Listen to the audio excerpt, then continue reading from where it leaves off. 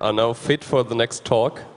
Um, we have here Kay Hamacher and Stefan Katzenbeisser, who are going to talk about Bitcoin, one of the most exciting topics of the last year. And so please uh, welcome them with a huge round of applause and let's go.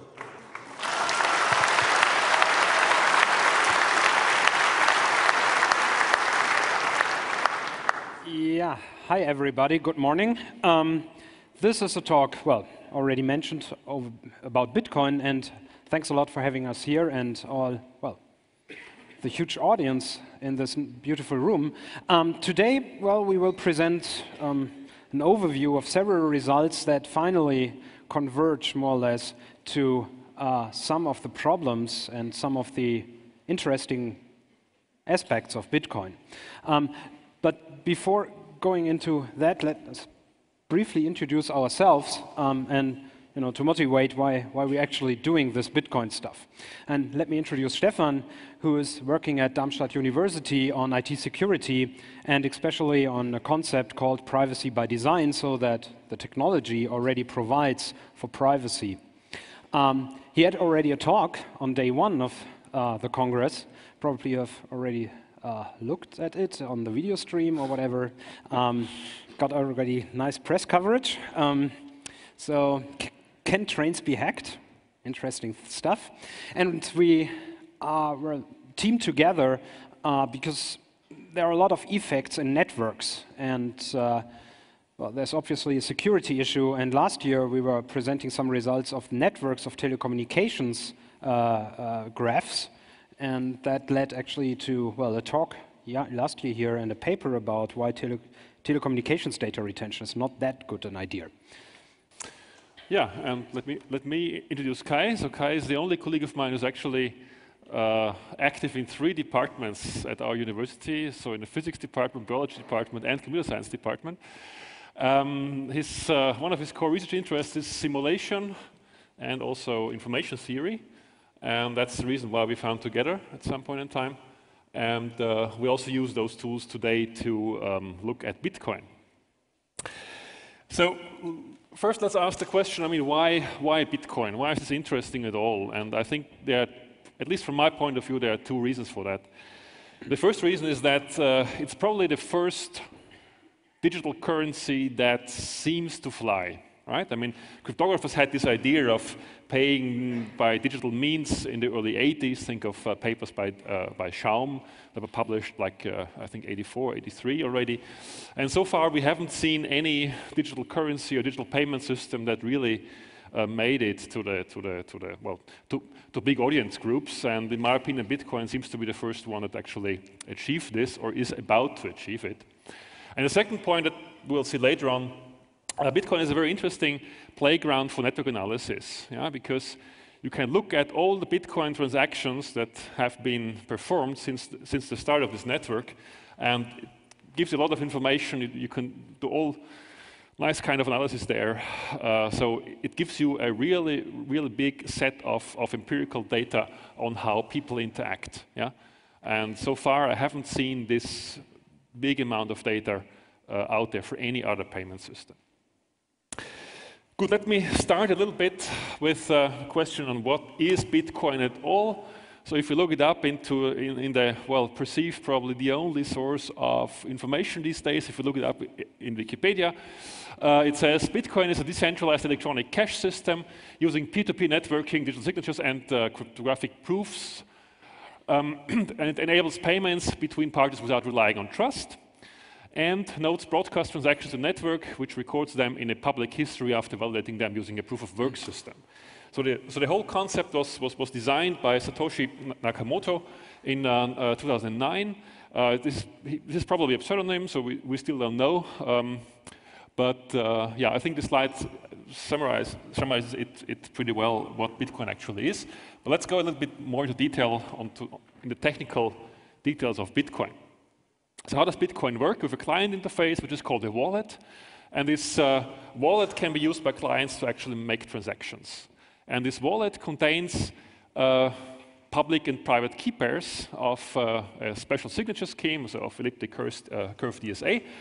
And uh, the public addresses, so this, this, uh, those public keys form what Bitcoin names an address. Yeah, an address is essentially a, a, pseudonym of a person or a pseudonym of an entity that can authorize payments and that can receive payments. And if someone wants to make a payment, all he does is he takes one of his addresses. So every party or every user can have multiple addresses, but we'll, we'll see later. Uh, and actually make a transaction and sign a statement like, okay, I'm owner of this address, I want to transfer X bitcoins to a certain other address. And this signed statement is somewhat broadcast to a peer-to-peer -peer network, uh, and this peer-to-peer -peer network has the task of actually validating all the transactions. So if you look at this basic principle, you see immediately that there are two problems that Bitcoin needs to solve, right? One is uh, the problem, how can we prevent double spending? So how can we be sure that one person that owns an address can only spend the amount of bitcoins that he has, and that he can't double spend the same bitcoin twice or three times or whatever.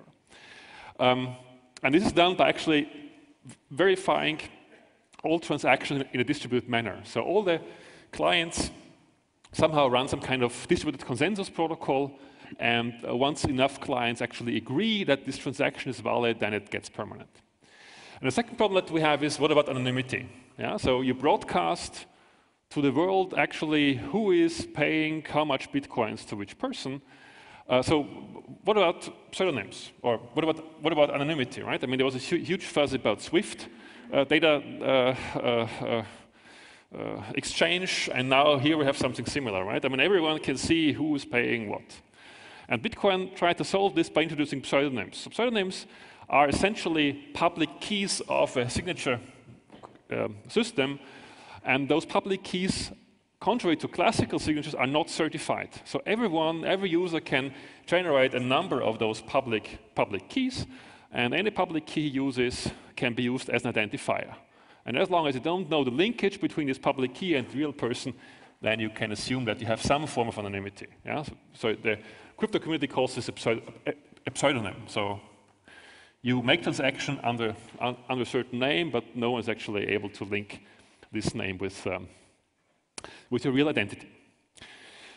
So what about all those transactions? So I mentioned before that all those transactions are broadcasted into a peer-to-peer -peer network, and what actually happens is that uh, multiple clients will actually verify a transaction. And they do this by taking all the unverified transactions so far, or at least most of them, and hash them together with some kind of nonce. So a nonce is just a random string yeah, that someone randomizes the hash. And what, what the client actually then publishes is the list of transactions together with this hash. Yeah? And the nice thing, or the nice feature of um, of Bitcoins is, is that uh, the person who actually does this work, I mean, this, this requires some kind of significant CPU usage, gets some kind of reward, right? So everyone who does this verification gets some, gets some Bitcoins out of this mere fact that they actually verified the transaction. And Bitcoin wants to limit the amount of new Bitcoins that, that, that, are generated this way, and therefore, what uh, the client has to do is he has not only to hash this, uh, this list, but he has to find a nonce in such a way that the resulting hash yeah, has some kind of pre, uh, uh, preceding zeros. So the hash should, should, start with a certain number of zero bits. Yeah? So it actually needs to find a nonce through brute force, such a way that this hash of the nonce together with the list gives you a hash that starts with lots of zeros. And by selecting the number of zeros you, you require, you can actually uh, make this process of, of verification harder, right? because uh, it just requires more trials until you find such a nonce that, that, that has this property. Right? Always, of course, assuming that the hash function, which is uh, SHA-256, is, uh, is uh, cryptographically stable. Yeah, and once enough clients verify the, the transaction, it finally gets definite. Good, I've already talked about this. So there's this, this uh, reward model that's called mining. Everyone who, who, who, verifies a transaction is able to actually mine a Bitcoin, and this difficulty of work is actually adjusted by selecting this uh, number of, of, of, of, zeros that the hash needs to have. And this essentially limits the amount of Bitcoins available. And at the moment, we are at the, at, uh, at the situation where no single computer is actually able or realistically able to verify those transactions anymore. So this, uh, the amount of work that you need to spend is so large that at the moment uh, a single PC is actually not, not capable of doing it anymore. Yeah, and this brings us immediately to, well, what is it good for, right? And a lot of people uh, discuss what Bitcoin could be good for, and probably is a lot of wishful thinking uh, involved here. But I think two, two major things need to be mentioned. So there was uh, uh Rick, which, uh, who is, um, if you don't know, the founder of the Swedish Pirate Party, and he has well put this blog post, why I'm putting all my savings into Bitcoin. And you already see savings, bitcoins, well, it's an economical argument, but it's about savings, right? On the other hand, just recently, uh, there was an Ars Technica uh, uh, um, blog post um, saying that it, Bitcoin not really is a currency, which is definitely true from legal point of view, but rather a meta currency that is a medium of exchange, so replacing Western Union, for example, probably also for the bad guys doing all these Nigeria scams. But anyway, um, and there's a slight, a slight change in the, the reasoning why Bitcoin might be a good idea. Um, and the first one is um, why, why here we, we learn that, that on the one hand, it's good as storage of value. Um, the reason why it is as you know, uh, substantial or uh, sustainable storage is actually a kind of cynical argument if you read the blog post, because he claims that the value maintenance, so to speak, um, is due to the fact that we do a lot of transactions, and that you, if you just take the economy, the black market economy of drug trafficking, um, then this is already so big that Bitcoin, or there are not enough Bitcoins basically to at least cover a fraction of drug trafficking. So the value comes actually from the transaction and the, the utility that you get from the transactions here. The same is here, but here's really focused on that's only about transactions, right? It's not really that you store and save money, even make money by interest or whatever, but rather store stuff uh, and transmit that to some other place where you then convert it to a local currency. Um, all that is the start for our economic analysis. So, I mean, Bitcoin is um, an adaptive complex system, a network with interesting dynamics, but in the end, um, the people who invented it and put it forward and are working on it want to have it as an economic tool. So, is it really fulfilling the economic promises? Um, well, first, let me do some philosophical remarks. When you read all the, the Bitcoin uh, blog posts and, and, and in, in the forums and so on, you get basically two major ideas. So there's no central control, right? There's no government, no politicians, which might be a good thing. Well, I don't know. Um, but it's really about that nobody could control what you're doing. And there's another misconception there's no surveillance, which is definitely not true. We come to that later. And at the same time, uh, a, a rather economic argument that you get rid of the banking business model. Um, so you don't have all these bank bankers around, right? Who basically live on our savings, on our work, on our efforts. And that is the good thing about Bitcoin.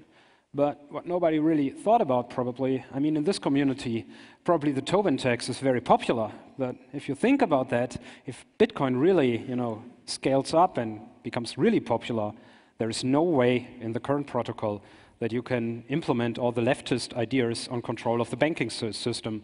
Um, so there will probably new bankers, but you know, they can avoid the Tobin tax if you do it by, bit, by using Bitcoin, right? Um, the same, or kind of a different argument, but it puts also forward the idea that we need to change the protocol um, because really the system doesn't scale. You have this huge history file, and there's some ballpark figure what kind of uh, net or what bandwidth you would need to really, you know, be in the network up to date all the time, and that means um, you cannot really scale unless you become a special provider of services for Bitcoin, which is basically a bank, right? So probably it's not called a bank, but it's the same concept. Okay, that was just some economic remarks on, well, national economy or global economy, but now really into the microeconomical stuff. Um, there is a concept in economics called elasticities. And the elasticity of a good or whatever a service is basically the change in the quantity you get or is provided uh, up on price changes. So you have a delta in the amount that is produced, that is available, that someone gives or would give uh, voluntarily to you while there is a change in the price. The problem is this really depends on the units you choose, right? And as we are talking about a replacement of currencies, blah, blah, blah, it's probably not good to have this, this ratio here expressed in US dollars, euros, whatever. So what, what people came up with is really a relative fraction. So what you do is the relative change in the quantity on the market available divided over the absolute quantity at that particular point, and that then divided by the relative change in the price. And you can do some algebra on that. Um, that is basically boils down as an approximation then of this funny formula. So the elasticity is the partial derivative, just uh, to be annoying here and ins ins uh, insisting on mathematics. The partial derivative of the logarithm of the price with respect to the, to the logarithm of uh, the quantity with respect to the logarithm of the price. So if you do that now, and there's a grain of salt here, um, I used the data of Mount Gox, which is a service that transfers bitcoins to dollars or dollars to bitcoins, and I used the public available data on transactions there, assuming that this is really the demand and the supply on the market, uh, Bitcoin versus US dollars. Um, so the the, the service or the quantity here, the good is the Bitcoin and the price is expressed in dollars. um, so there is no equilibrium in economics, never ever. So it's, it's a, an approximation. But anyway, you end up with an elasticity of minus two point something. That tells you a lot, right? So we need a reference. And people did that for all the major currencies, so the euro, the yen, the pound sterling, whatever. And they came up with roughly minus 0.4. So the Bitcoin currency, so to speak, is currently much more elastic than other currencies among each other, meaning that it is rather substitutable. That is an economic term. So you can easily substitute Bitcoin for something else. It doesn't tell you what, but it tells you in the market there is something going on that is a replacement of Bitcoin. Uh, might be another currency, might be gold, I don't know. Uh, while it's not that easy to replace, say, the euro uh, in comparison to the US dollar or you know, the yen, whatever. Uh, that is a histogram you know, of all the elasticities in small uh, portions, so in weeks. Um, and you see it's really always negative and it's going down to minus 15, so it's really substitutable. Um, and, and then there's another funny thing. It changes the sign. So the, that was the average. If you do this now per month, over the time here, uh, and then the red dots are the situations where the elasticity is negative, and the black ones are the one where it's positive. Um, then you see that it's, well, a rather mixture. It's, it's a logarithmic scale, so it's really going up, down, up, down, up, down all the time, and changing signs. And that is funny, because a positive elasticity, if you go back to the de uh, defining equation, when this is positive, that means then the supply or, well, no, the demand, sorry, the demand changes or goes up when the price goes up. So if gas becomes more expensive, you don't visit the gas station more frequently, do you? So in the end, that tells you that Bitcoin, at least at the black spots, is something like a luxury god, uh, good, like diamonds or you know, gold or whatever. So people buy it, or there's a bubble, right? People buy it just for the sake, because it's going up, so it's more value, so I need it, right? It's like, like more psychological effect.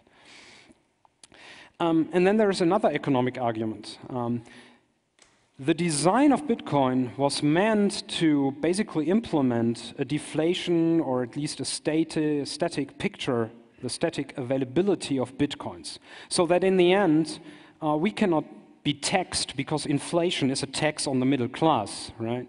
because you lose your money when there is inflation, while big guys who own a company don't lose the money. So to get rid of inflation, uh, they designed the protocol that over time, and uh, Stefan mentioned that there is this creation of new bitcoins, um, that this goes up and saturates at some level, which is 21 million bitcoins in the end, over time.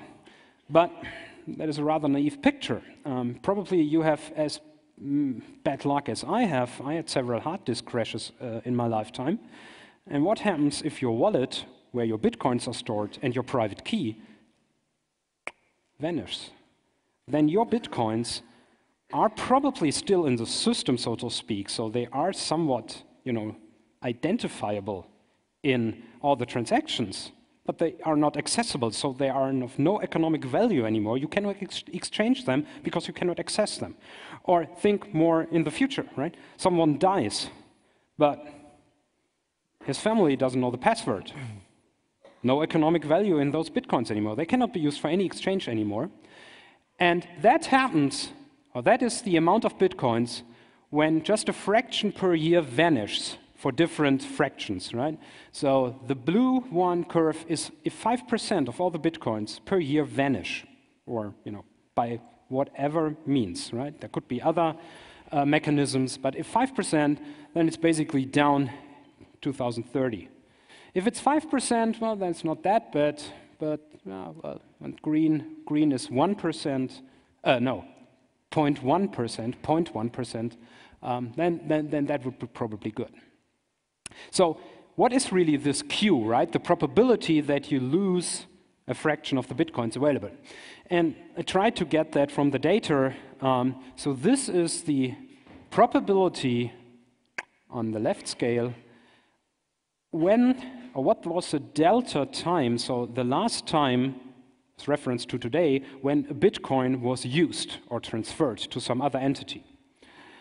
And well, this is accumulated. Um, what it tells you basically is that if you set an arbitrary threshold of, say, roughly two years, and if you say every Bitcoin that was not transferred to some other entity within two years, you regard as lost because nobody is really doing anything with it. I mean, there might be a guy saving it, but that is now the approximation we are doing here if you have set that roughly to two years, then you end up with a fraction of 1% of lost bitcoins per year. So a relative measure, right? 1% of the bitcoins existing at that particular time or a year are basically lost or not accessible. Uh, and that means, this is the red curve again, right? This is Q, 1%, that Bitcoin ultimately will vanish. There is no way, right? It, you can argue about the probabilities. You could argue that it is 10 to the minus 10 or whatever, but conceptually, Bitcoin will vanish one day.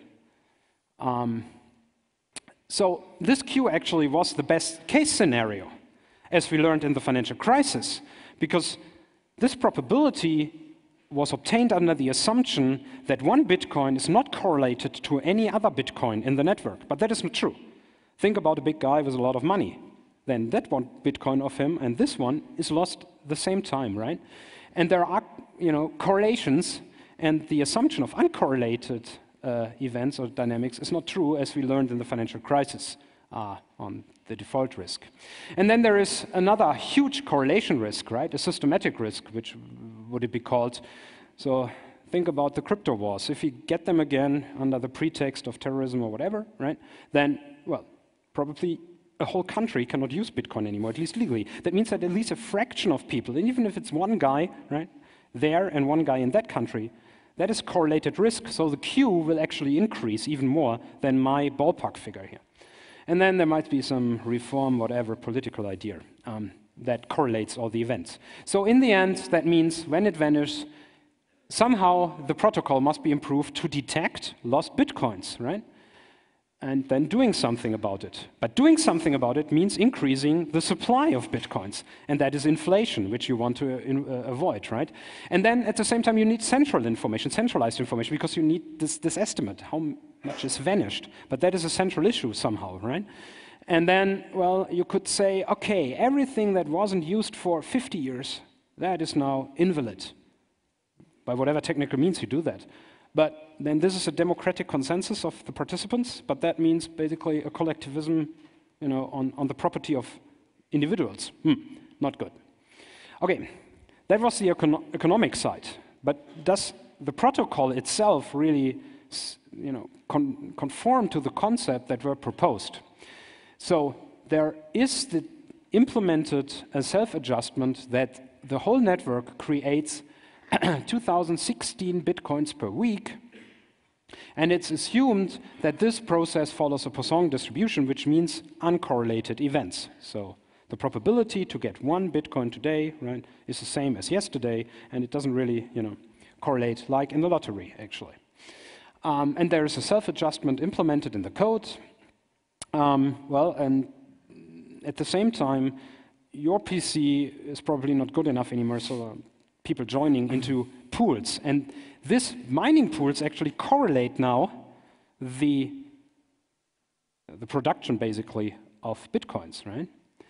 And if you look how many bitcoins per week are created, then, well, this is rather arbitrary here, but I would like to distinguish an early phase where, where just a few participants and a later phase where, well, the number of bitcoins on the y-axis over time is rather, well, more or less the same, right? Okay, does this really follow a Poisson distribution as was claimed by the people implementing the protocol? And this is now the graph for the early and for the late phase, and this is the, the time between blocks appearing right? And that must follow, if it's Poisson process, this Poisson distribution, uh, which is basically an exponential, um, but forget the details here. So it's not really a difference between the black and the, the red curve. So the, the mean is more or less the same, right? It's the same shape. Well, anyhow. Now, is it a Poisson process? Uh, hardly, hardly, hardly, because there is, um, well, a theorem, or nah, it's probably too much, but you know, some result that tells you that the expectation value, the mean, is the best estimator on the Poisson distribution. And that tells me, if I just take the data, it's 528 compared to 600, what it should be according to the protocol. So somehow this whole process creates more bitcoins than the 600, uh, because the, the time in between is smaller in the average, right, than the 600 which was proposed. If you do a different fit, so you fit now to this data, a Poisson distribution, and then you get uh, an estimate of what really the parameter is, which in the end is, again, the mean here.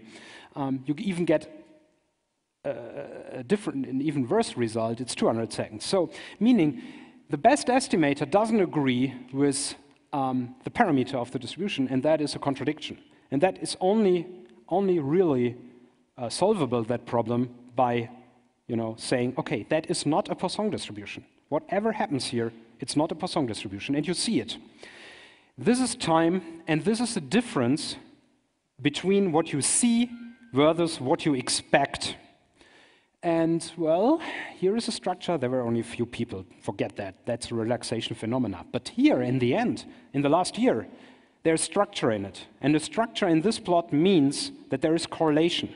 And that is probably because of the mining pools. The self adjustment just doesn't work that way people assumed it. Right? These huge mining pools go into a kind of a resonance phenomena, I don't know, but this provides for correlation and therefore for resonance and therefore for the structure. Okay, and this is, was a global picture on the dynamics. Now we get a detailed picture on the network of the transactions. Okay, let's go to the next uh, part. So what we also try to do is uh, to analyze the network of Bitcoin. So network analysis is a very hot topic in in various fields of, uh, of science. So it's, it's, it's a topic in physics, it's also a topic in computer science. What people actually look at is how do people interact. Right? So there are lots of, of papers on how for example, on how the telephone network is structured, so how many participants are there, how they are connected. There's um, studies on like uh, Facebook relations, how, how, does this graph look like? There's study on co-authorship networks, all kind of different things. And the nice thing about Bitcoin is that well, you actually see all the transactions, right? And you can do all the, redo all the stuff that, that, that we've invented or that one has invented in this field of, of network analysis and to apply it to Bitcoin and see whether we get some interesting results there. Um, so from now on, I would like to see Bitcoin as a network. Yeah? So um, I hope that everyone is familiar what a graph is. So a graph is something like this here, right? It has nodes and it has, it has edges. And the nodes essentially correspond to all the addresses. Uh, so each node is essentially a public key that some party has generated, and there is some kind of connection between those, between those two, uh, yeah, between two nodes where there was any transaction in the past. We don't care about how much money, how much Bitcoin there was uh, transferred. It's just there's an edge if there was any relationship between those two addresses. Yeah? So what a transaction actually is, when you authorize a transaction, you can take a couple of addresses, yeah, where you take money from, and you um, take a couple of addresses where you supply money, money to. Yeah? And you can essentially specify how much money you take from address 1, how much money from address 2, how much money from address n, and how much you, you give to this green address 1, etc., etc. So if you look, look at this as a graph, it looks like this, right? I mean, essentially every address would be, every red address on the left side would be connected with, ev with every green address on the right side. And now you think of the whole thing like we take all the hundreds of thousand Bitcoin transactions that we have, make this huge graph out of it. You can't really look at this graph anymore, but you can do some kind of statistics on it. Um, actually, you can see this graph, or you can see the raw data.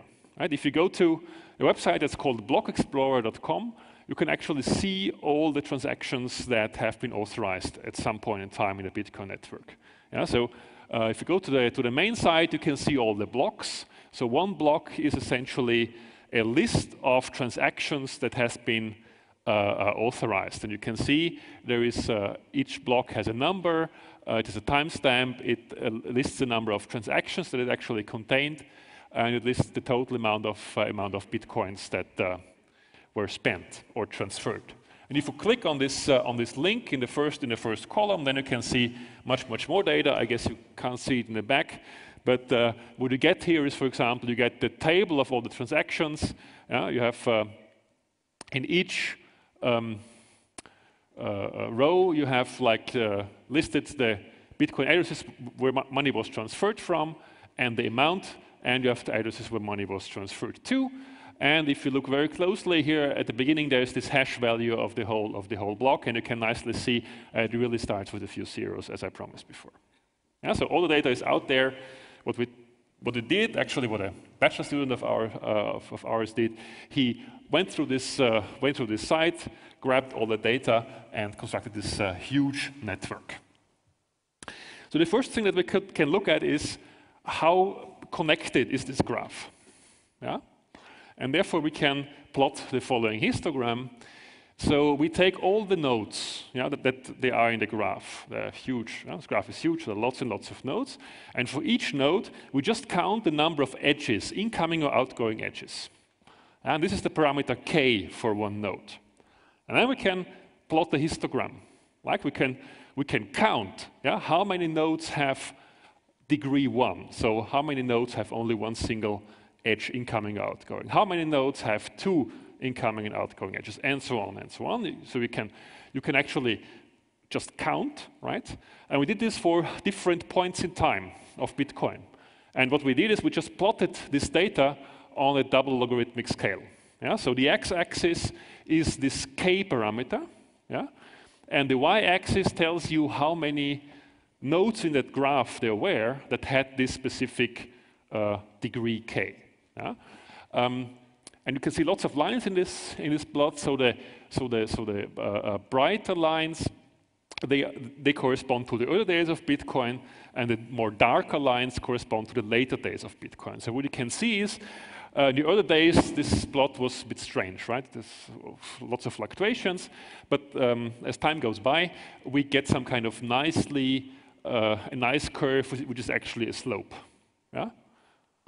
So the whole thing somehow converges to a very nice graph, which is actually a slope. Uh, so, so, so a line that has a certain slope. Yeah? So this tells us, so this tells network people that actually the distribution follows this nice mathematical formula. So the probability um, at a node, that there is a node with k, uh, with degree k, follows this law k to the k to the power of minus alpha. At least for, well, modern times of Bitcoin. And then what we try to, to, to, see is whether this parameter changed over time. Yeah? So what you see here is now uh, on the, on the y-axis, this parameter alpha, so the slope of that line, depending on, well, the time, right? So we started in 2009 and we ended essentially this year, uh, this year. And what you can see is actually, so disregard the, the beginning, there's probably not enough data there, but, but what you can see is that um, this parameter actually increases. And increasing alpha means that the slope gets steeper, yeah? which means that uh, there are less and less nodes that have many incoming and outgoing edges, which in turn means that addresses are less and less frequently used. That means, again, Bitcoin users increasingly start to generate new public keys and private keys, new pseudonyms. Yeah, so the pseudonyms are used less frequently, yeah, which is a good thing for anonymity, of course, because that tells us, or we can at least hope that it's much harder to, to identify people uh, if they use lots and lots of, of different pseudonyms for different transactions. The same result you can get if you do another analysis. So what we try to do here is to compute the diameter of the graph. So the diameter, I know this is now some kind of math lecture here. So the diameter of a graph you can compute by taking all the pairs of, of nodes of the graph. Yeah? So you take, take a pair, and then you compute the minimal distance between those pairs, or between the pair in the graph. So the number of transactions that link or that, that had, um, needed to be performed to transform or one certain number of bitcoins from one address to another one. Yeah? And then you do this for all the, all the possible pairs of, uh, of nodes. Yeah? You compute the smallest distance between them, and then you take the maximum of the whole thing. And this is the diameter. Yeah? So this is somehow the, the maximum minimal distance between two nodes in the graph, which shows you somehow whether the network is very much connected, yeah, or whether, whether they are nodes that are some, somewhere far out and somehow not, not connected with the rest. And it's surprising to see that this diameter increases. So there were two um, outliers. So uh, this is again a logarithmic scale. Yeah? So, so those outliers are actually huge. Yeah? So we have no idea why they are there.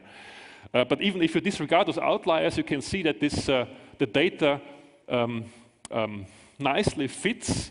And because this is a logarithmic scale, uh, like a, a, line in a logarithmic scale is, act is actually an exponential increase. Yeah? So the diameter increases exponentially. Again, this tells us that the network gets loosely and loosely connected yeah, somehow. So again, this tells us that there is increasing anonymity present. Yeah? Good, this was the structure of the network.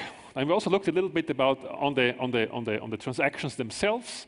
So the first thing that, that, that we looked at is uh, how was the transaction volume that people uh, actually, uh, well, did at, uh, at Bitcoin. And if you plot the histogram of all the transactions, yeah, so again, you, uh, you say how many times was it, so this is again logarithmic, so how, how many times were 100 Bitcoins transferred? Okay, it's like uh, 0 dot whatever 8. So it's, it's normalized frequency. So you, you see that most of the transactions are between 100 bitcoins and between 0.01 bitcoins. Yeah? But there is this strange little outlier on the far left, so which actually tells us there were many transactions with, with very, very little Bitcoin value in that network. Uh, in fact, those, those um, amount to 2.5% of all the transactions that occurred in Bitcoin. Yeah? They were transactions that transferred the least possible Bitcoin amount, which is 10 to the minus 8 Bitcoins. Yeah? And of course, we asked ourselves the question, I mean, was this an accident? Was this an attack? Or what was that? And it was somehow strange because this was always from one specific Bitcoin address so we tried to see whether we can actually do something there or, or, or, see what's the reason behind that. And to answer this question, we tried to do another analysis. Namely, we looked at how anonymous is Bitcoin as such. Right? So we talked lots, lots about users of pseudonyms and they can transfer money using different pseudonyms and when they change pseudonyms frequently then it's probably hard to link the, transactions. But there is one big problem within, within Bitcoin, namely if uh, you have a transaction, right, uh, that takes bitcoins from multiple addresses, yeah, and transfers them to one or more bitcoin addresses, then you actually know um, all those transactions must, all those amounts were authorized by the same person, which means that those addresses, I'm sure, belong to the same person or at least to the same entity, whatever this, whatever this means. Yeah? And you can actually see this again in the Block Explorer.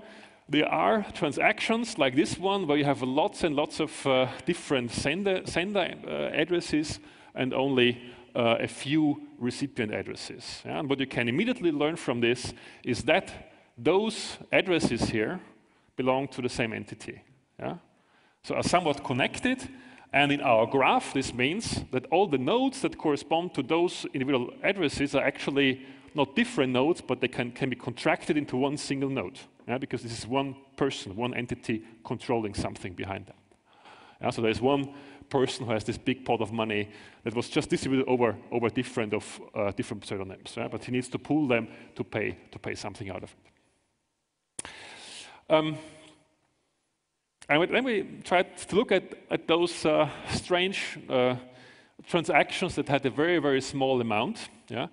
And what you can see here is a histogram of all those transactions. So how many transactions uh, below 10 to the minus 6 uh, bitcoins were transferred over, over, this, over this period of time. And if you do this contraction idea, so if you collapse all the, all the addresses yeah, that we know belong to the same person because they were used in some transaction right, together, then you end up with, a, with, a, with this plot on the right so the red curve now shows the same thing, but not the number of addresses involved, but the number of uh, but the number of entities involved in this, uh, in this, uh, in those small transactions, and you can see the spike is suddenly gone. Right? This essentially tells us that this, this, this huge spike here, yeah, even though they, they use different addresses to, to, do this, to do this thing, were actually controlled by one single, by one single guy. So this uh, somewhat confirms the hypothesis that's also been mentioned in, the, in, in, one of the Bitcoin forums that this was a potential DOS attack on the system, right?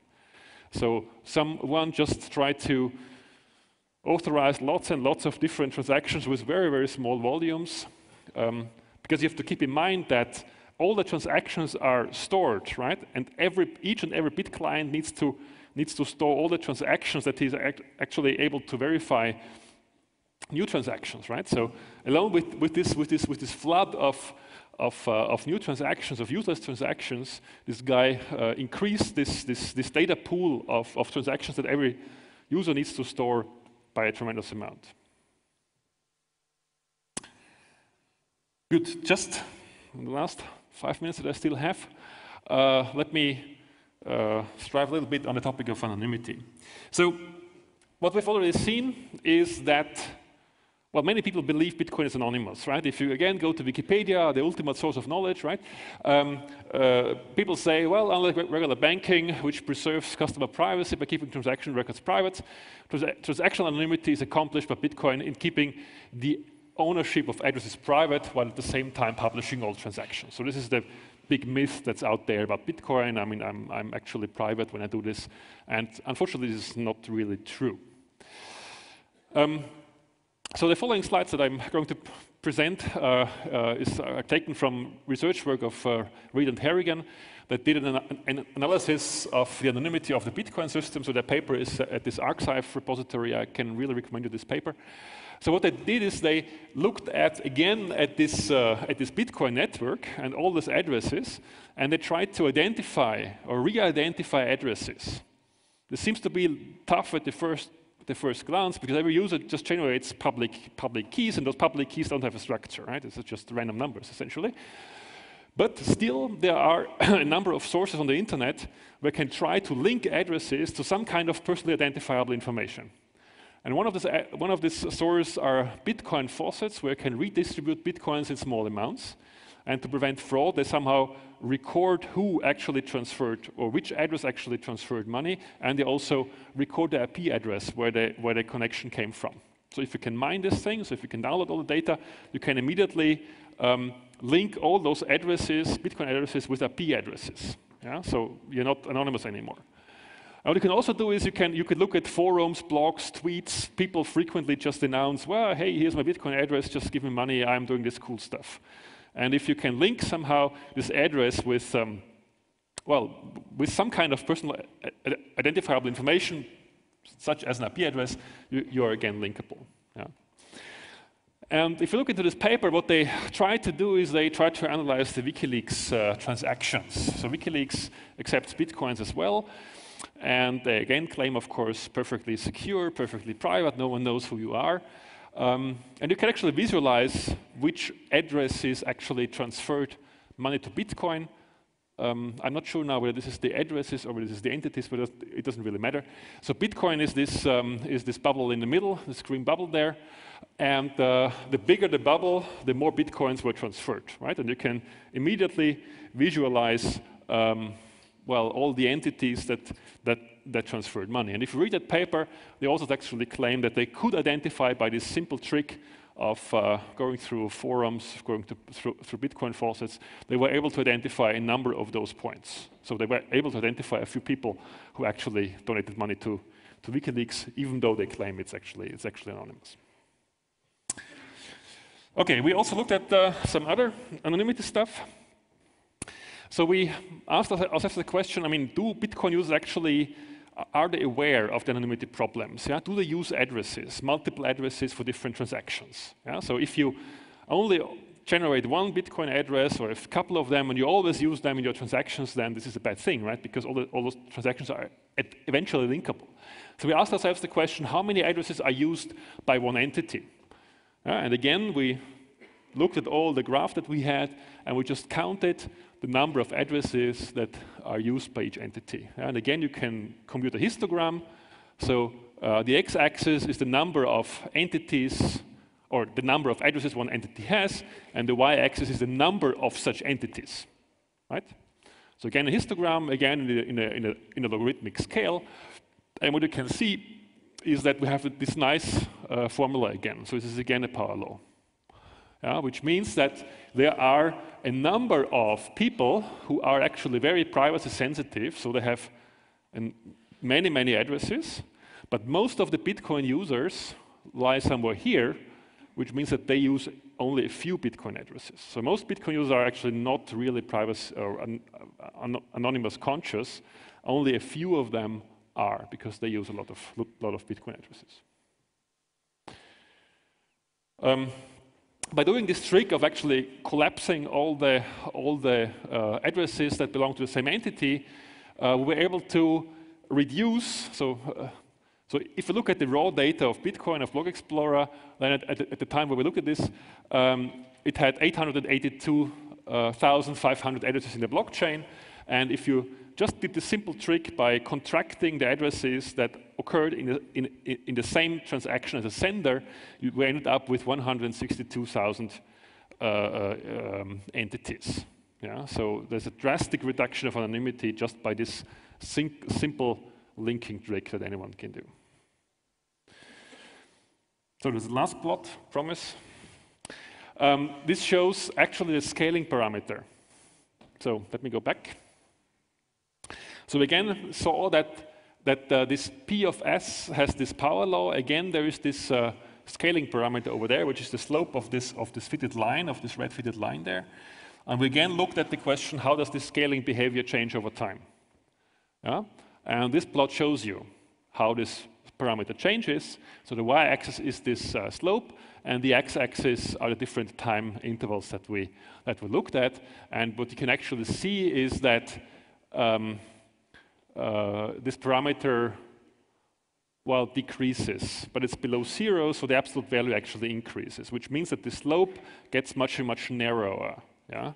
which again means that entities command over less addresses. So people are actually privacy conscious there. Yeah. So then, and fi final words. This brings us just to illustrate really the problem make you aware of, well, referring to that WikiLeaks stuff, um, that this is not anonymous. And that this is, from an economical point of view, a really huge problem.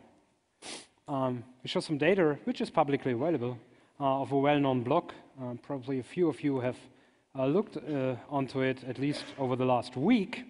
And that blog is asking for bitcoins. And, well, it doesn't really pay uh, to be a blogger. Um, that guy has made, at least from Bitcoin, $16 uh, exchange rate from November 29th. Um, so you could really see that you know what happened on different days, even up to the second, how many bitcoins were going in and out of that address, what was the US dollar flow taking the Mount Gox exchange rate, and well, accumulate that. And you can even learn something about that, and that makes even the anonymity uh, much more problematic. Look at the first transactions. They were rather funny, right? There was the same amount, and more or less the same amount went out. And it was a strange times, right? It was within 30 seconds, there was something going in. And then in the middle of the night, typical hacker uh, time, right? Uh, the stuff went out. And I'm pretty sure that this guy, probably is in the audience, um, tested his address, right? By sending something into that address and then pulling it out afterwards. After he confirmed, see, it's, it's roughly what? 11 hours later. So 11 hours later, it confirmed, oh, I really received that stuff, it's working, so I can now put it on my blog, right? Um, and that means, you know, um, th th this money ha had to come from someone.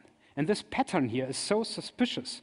I mean, it's not proof, right? It's not, in a, in a, well, in a real court, you probably wouldn't provide that as evidence, but it's a hint, right?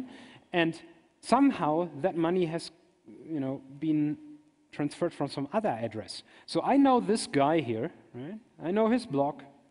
I know that most likely he tested his Bitcoin address that he published on the blog. And I could now go into the transaction history and find out from what addresses this test was started, right? So I knew the additional um, addresses that this person might use, or at least some of his acquaintances and friends, right? So I get really to dig into that. If I can assign one address, oh, a lot of people are now taking pictures because there seems there's the address. Okay. Um, okay, anyway. Um, it's public knowledge. Um, so I could now assign, when I have one data point, right, I can assign one address of Bitcoin to one person, then I can work all the way through the chain, learn a lot. And if you were against the data retention, telecommunications data retention, hmm, you should be really aware what you're doing in Bitcoin. And most likely, a lot of you guys probably are pissed off by the SWIFT scandal, uh, where all the transaction data from banks are transferred to some other country. Um, well, um, it's not even necessary to convince some politician to do that. Um, it's available, right? And this is basically, I think, one of the biggest problems why Bitcoin would not be really something for companies, you know, because this is basically full disclosure of the financial state or status of a company, right? You can learn how, what is the amount, what is, how high is, high is the price for some service, for some good? What, what is actually the rebate that some company gives to another company? You can learn that all, and you can actually get also from the patterns a lot of information on the behavior of a person, right? Um, think about that. That person was most likely, if it was a test, which I'm pretty sure it was, uh, was uh, awake at 5 p.m. and it was awake at the next day on 4 p.m. 11 hours, probably didn't even get sleep in between. Um, well, kind of funny. Um, there are a lot of transactions which you know, tend to the something. Then this is this funny transaction here, which is basically probably something I would like to get rid of all my bitcoins or something. So you can really learn a lot about the behavior, as we already showed last year about the telecommunications data retention network. Um, you can now learn that even more publicly, so to speak, from Bitcoin network. Okay, to sum things up, and as a take-home message. So the protocols somehow need to be improved, right? There's this vanishing problem. There is, if you want, if you follow a political agenda with your Tobin tax or whatever, um, then you need to change the protocol. Um, Bitcoin is not anonymous and therefore it's probably not the stuff that larger companies would like to use. In particular, the financial industry will never ever use that for that reason. Um, there is probably an application, but you have to be really sure that the deflation thing is not really, well, it's really deflation because you lose Bitcoin. So in the end, when you change the protocol, you might have inflation. Um, and with this full disclosure of financial data, you open the doors for industrial espionage, right? Um, there's interesting network dynamics, all the funny histograms we have shown, right? This is really an interesting network, probably more or less unique. We have all the data, we have all the stuff. In other areas, we don't have that, right? But here we can really look into that, so as a basic research thing, that's very interesting. And therefore, it's really an ideal test bed. You can learn a lot about the physics of complex systems here. You can learn a lot about adaptability and evolvability of you know, social entities and how that complex dynamics arises. And as a final application note, um, what we are thinking about is, so wh why did we present that and did all this analysis? Think about that if you would like to provide a laundry service. So there are some available, you, they claim that you can put in some you know, bitcoins and they somehow you know, mix them up and you know, give them then to the final address. First of all, you trust an anonymous person here, right? Well, more or less anonymous person, that he actually transfers your Bitcoin afterwards to some other entity. Uh, so you don't trust banks, where you can at least see a person, where you know where the office is, but you trust some money laundering guy on the internet? Funny. Um, and at the same time, whenever this person or the, his service or her service is deviating from all the statistics we have shown, I can identify that. Right? So you have to fulfill at least all these statistical things to really design an effective and ideal uh, Bitcoin laundry. If you, in one of those aspects, deviate from that, that is a signal to be detected and you know, to attack that laundry service, and that is, well, project upcoming paper, um, how probably to avoid that and deal with all that stuff. And that is really the last, you know, more or less the outlook of our up to now research. And with the final words, I would like uh, to wish you a Merry Crisis and a Happy New Year.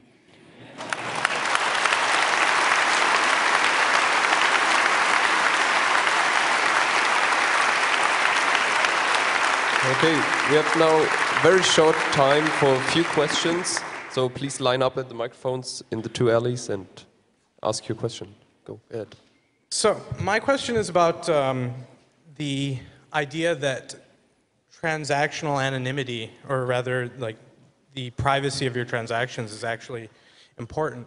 The, um, you said it's a big problem, but the, one of the charts that you had seemed to show that as Bit, the Bitcoin network grows, more and more entities in the network are having fewer and fewer addresses. And that seem, at least it seems to me that that represents that newbies, people using Bitcoin for the first time because there's the network has been growing a lot, really don't give a shit about if everyone can see their transactions because they're using a very small number of keys anyway. And, and it seems to me that like services like PayPal kind of bear that out. Like that's what everyone that does digital payments is using now. And that's, you know, that's, that it, it's out there. It's out there for the government to mine and download. So what, how do you reconcile the fact that the, the, the permanent record of everyone's transactions is a big problem, but all of the new users don't like seem to be using small number of addresses anyway.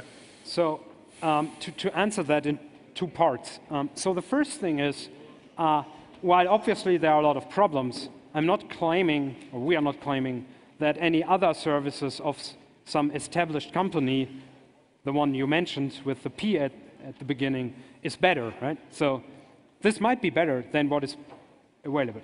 Okay, first thing. Second thing, um, you, you can slightly address this concern that, that, that you mentioned, or that, that is the core of your question, by normalizing to the numbers of users or to an estimate of the number of users. And so you basically divide the average. There are some statistical problems here, but anyway, we, we didn't show that stuff. You have so many of these plots, right? And it seems that the effect of the growing number of users is not completely an explanation. So it doesn't really compensate the, the it cannot, it can basically not uh, compensate the exponential increase in the diameter alone, plus the scaling stuff that we have shown afterwards. So it's, prob it's probably a combination of both, right? M many newbies yeah, who definitely. only actually have a few addresses and people that become more more privacy. Con- uh, I mean, definitely there are newbies, definitely, and even more, sure. But even if you try to calculate them out or compensate for them, um, there, there is a signature. Okay, time is running out. We can only take one more question from over there. And may I remind you to please be seated until the question and answer session is over, because it's very impolite if you just go up and leave. People want to listen what, uh, to the questions. So uh, regarding the uh, deflation of the currency, uh, you basically mentioned that uh, at, if at a later point the protocol is changed so that more Bitcoin is added to the pool, that would make it uh, an inflationary currency. Can you explain why that isn't exactly, um, that is basically the issue? Uh, why, why it would not be possible to add Bitcoins and still keeping the currency deflation? Well, so you, you could just compensate. For, so if, if there is loss of bitcoins, right, you could compensate for that, definitely. But how much? That's the problem. That is a centralized information gathering, which by design is not included, and which is quite the opposite to what economy is, right? Economy is a decentralized effort to get into transactions. So you, in theory, you could do that and provide for still 21 million active whatever bitcoins. But for that, you need to change the protocol to that someone and who is aware of how many active or accessible bitcoins are there, and then someone has, that is then the second step, someone has to do something about that. And, the, and whenever you have that central person, right, he might follow a different agenda. And so the ultimate stuff would be if you see down, if you see a slowdown, people would typically react as the normal bankers do, right? Oh, oh my God, the economy. So in that part, people would say, oh my God, the Bitcoin economy. And then they would just start to print new, print not new, but allow new Bitcoins. So they will overshoot.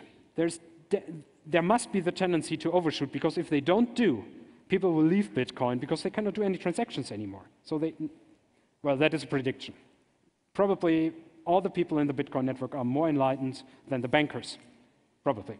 But the overshooting stuff will, will lead to at least um, a temporary inflation, and then the whole idea is basically broken, right? I mean, the appeal of that was that you don't have inflation.